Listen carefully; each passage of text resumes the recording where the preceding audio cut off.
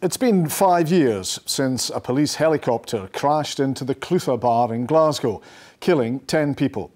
To mark the anniversary, one survivor has released a book of poetry that he's written as part of his recovery from the trauma.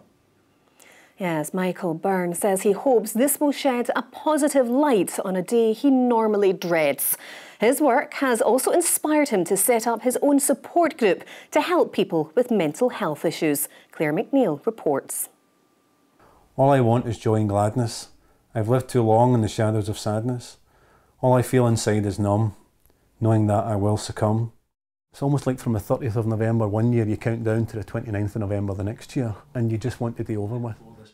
Michael Byrne remembers the Clutha disaster like it was yesterday you know, there was just debris everywhere and there was injured people and other people who were deceased it looked like. We um, tried to drag as many people out as we could and then it seemed like a lifetime later the emergency services came and um, told us to get out. Uh, we were offered no help or support. Um, I knew just under the surface I was breaking down. I was desperate to cry, I was desperate to let the emotion out, um, but I just didn't know how to.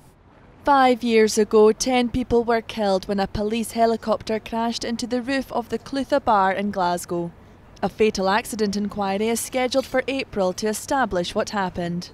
In the months after, the father of one struggled to cope as a series of past traumas all came to a head. He planned to take his own life, but unexpectedly found relief in writing. No matter what I say, think or do, I'll never be normal, unlike you.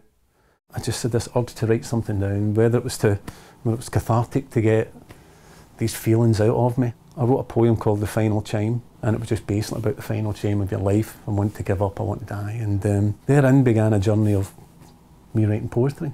He's chosen today to publish his book online through the help of a charity, Stigma Free Lanarkshire. Personally, for me, I'm trying to do a positive thing on a difficult day in my sort of commemoration to um, the survivors and the victims and the families and so on that the poems were released today because today is a day that people will need help to deal with the trauma and to deal with the past and I know that it took me four and a half years to deal with the trauma and the events of that.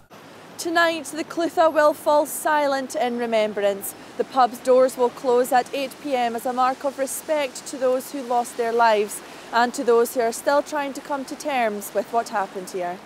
Clare McNeill, STV News, Glasgow.